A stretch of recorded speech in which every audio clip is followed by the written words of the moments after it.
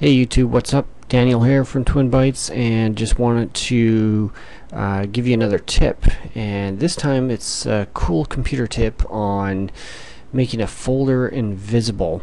Now this can be used to keep um, employees, coworkers and so on out of a folder that you want to have uh, hidden or even uh, little brothers or sisters that are annoying and uh, looking for stuff on your machine to screw things up. Um, there's many ideas you guys can probably come up with why you would want to do this. But uh, anyway here's how you can do it.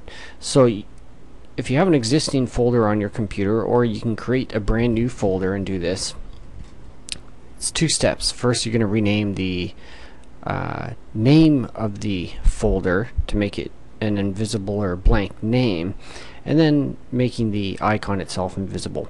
So it doesn't matter which one you do first so we're gonna go to rename. Now if you just simply delete it and hit enter you'll notice that that doesn't work. It comes back to the same name. If you go to rename and put a space in there and hit enter that's not allowed either. So what do you do?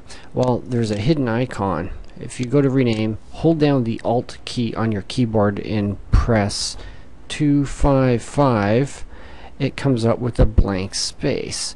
Then you can hit enter. Now you can then um, see there is no name. If we right click on that folder now to make that invisible we can go to properties.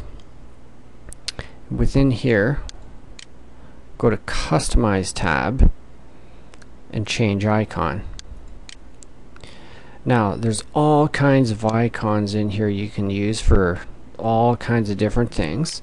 So if you go over a few rows you'll see that there's some blank spots here. So you can pick one of these blank ones hit OK and OK again.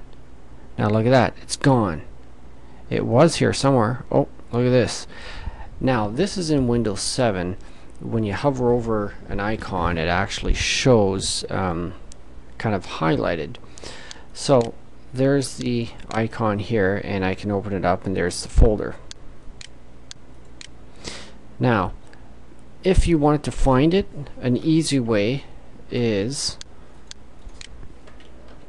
if you uh, hit control and A it highlights all the icons on your desktop and you'll be able to find that missing icon.